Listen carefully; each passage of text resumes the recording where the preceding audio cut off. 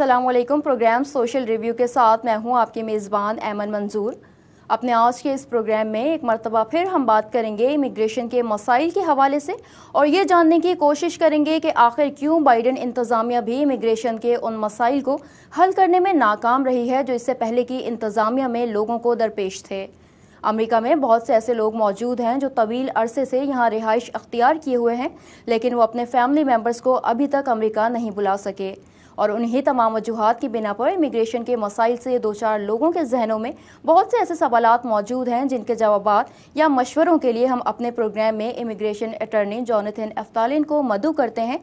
گزشتہ دو ڈھائی سالوں میں کووڈ کے باعث کیسز مزید تاخیر کا شکار ہوئے اور لوگوں کی پریشانی میں اضافہ ہوا۔ اس کے علاوہ کچھ ایسی وجوہات بن جاتی ہیں کہ جن لوگوں کے کیسز فائل ہوتے ہیں، انہیں حکومت کی طرف سے تاخیر کا سامنا رہتا ہے۔ اور ساتھ ہی انہیں یہ بھی خوف ہوتا ہے کہ تاخیر کے سبب اگر وہ گورنمنٹ کو سو کریں گے تو ان کے لیے شاید مزید مسائل جنم لیں گے۔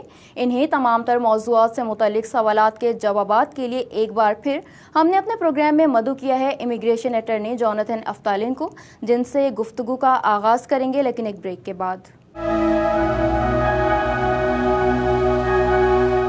اقوام عالم میں کیا ہو رہا ہے؟ کون چوکے اور چھکے لگا رہا ہے؟ دنیا میں طب اور انفارمیشن ٹیکنالوجی میں کیا تحقیقات ہو رہی ہیں؟ لالی ووڈ بالی ووڈ اور ہالی ووڈ کی فلم نگریوں کی داستان۔ فیشن میں کیا ان ہے اور کیا ہے آؤٹ؟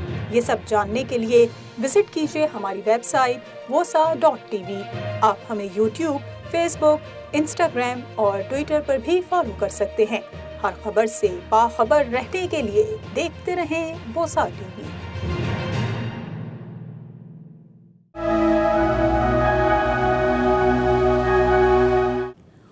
बैक नाजरीन प्रोग्राम में एक बार फिर आपको खुश आमदीद कहेंगे जॉनथन हमारे साथ प्रोग्राम में मौजूद हैं thank you Jonathan once again for your time to join us in a show Jonathan, is there anything the applicants do if the government is delaying his or her case? Uh, yes, there's a lot that you can do. Um, so if, if you have a if you have a delay in your uh, asylum case or in a family petition, if the delay is unreasonable, with right now is about a year or more, then you could actually sue the government and force them to make a decision on your case. What should be the procedure to sue the government? So the procedure is a little different depending on the type of delay, but um, it's called a writ of mandamus, and it's a complaint that, that an attorney would file on your behalf to sue the U.S. government for not doing their job. Basically, the US government has a duty to you once you pay for the application, once you submit the application, even if it's a free application like an asylum application. Once you submit the application, they have a duty to adjudicate and process and, and make a decision on the application in a reasonable amount of time. So, right now, there are individuals who have been waiting four, five, six, seven, eight years for their asylum applications. There's people who have been waiting overseas to bring their family members, whether it's their father, their mother, their, their son, their daughter, their husband, their wife. And they've been waiting many years for these petitions to be approved and, and processed. So, in these cases, um, an attorney can file a lawsuit on your behalf to force the government to, to issue a decision on your case. We heard about your law firm is going to file the lawsuit in the favor of those people who are suffering filing their asylum application. Can you tell us more about something how the other people can join you? Sure. So yes, that's that's true. Our firm right now is is gathering individuals who have had at least a three year delay uh, since since um, any time before, or, or three to four year delay or more um, and and basically what we're doing is we're suing the government and we're saying that this is not fair. That that people since the first in and first out policy has come into play, everyone who's filed their applications before that have been prejudiced. They've been hurt. They've been harmed. Because if the government is only uh, uh processing the asylum applications of people who come in now, what happens to everyone else who's been waiting? A lot of these people they have family members that are overseas that they haven't seen in many years they want their family members to join or they want to go visit their family members um, or they just want to have their lives set here in the United States. They want to have the comfort where where they they have a work uh, authorization, they have a per, uh, work permit, and they also have a green card application and a path to U.S. citizenship. So what my firm is going to do is we're going to fight for these people who who are tired of waiting, and we're going to force the government to um, schedule interviews for for people for their asylum hearings. Some of the applicants are scared by the government. If they are going to file the sue of something, then there are going to be more delay and more complicated things for them. Or more delay, what should they do in this case? So people ask me about this question all the time, and it's a big concern for people. Um, people are scared to sue the government because they think if they sue the government, the government's going to retaliate against them, that the government's going to negatively um, uh, process their case or they're going to deny their case or they're going to further delay their case okay? And that's not that's that's not true at all okay?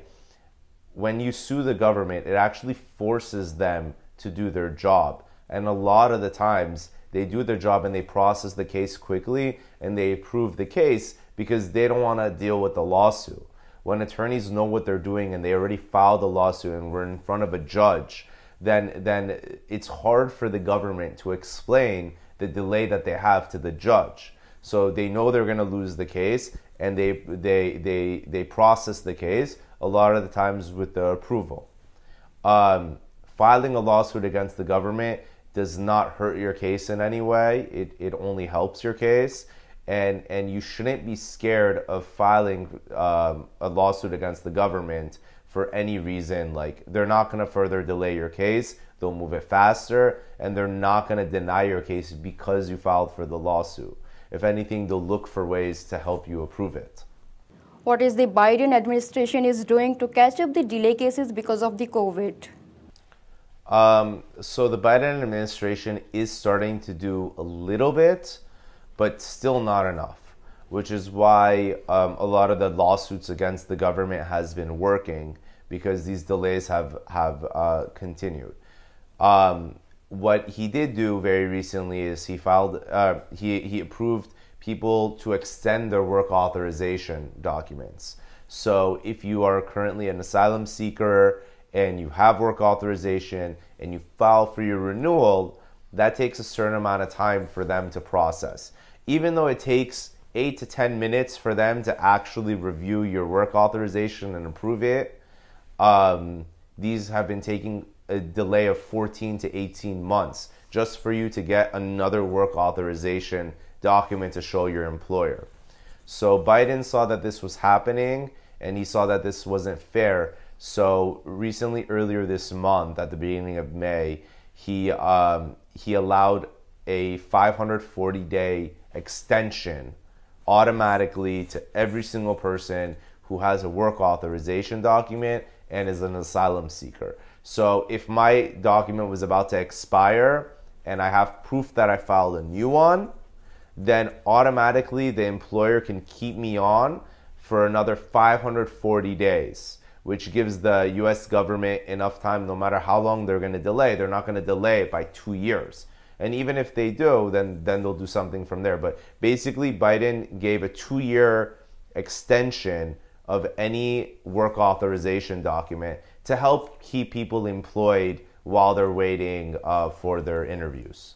What does the Biden say about the delay application? For example, if someone wants to bring their family from overseas to US. Um, the Biden administration has been very similar to the Trump administration in terms of um, cases have been very delayed for processing through the National Visa Center and through the embassies overseas. They're still trying to blame COVID. They're tr- still trying to say that there are these backlogs. However, when when we sue the government, um, there's a period called discovery, where when we get to that point, the government has to give us certain statistics. They have to give us certain uh, certain documents that prove their statistics. And what we've seen is that they have the capacity they have the capacity to process these cases, but they haven't been doing that. So So I'm not sure exactly why the Biden administration is so slow in processing these uh, family visas, but but in our practice we've seen that the best results is when you sue the government and you force them to make decisions on the family petition cases. Jonathan से सवालात का सिलसिला जारी है लेकिन यहाँ वक्त हुआ एक ब्रेक का हमारे साथ रहिए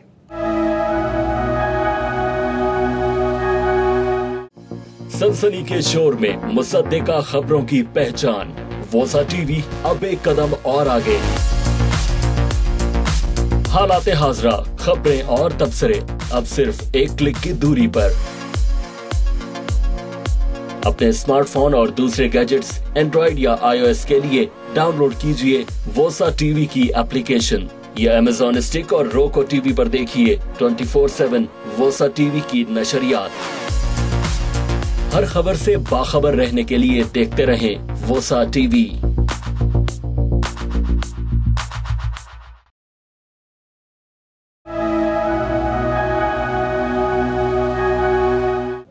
Welcome back.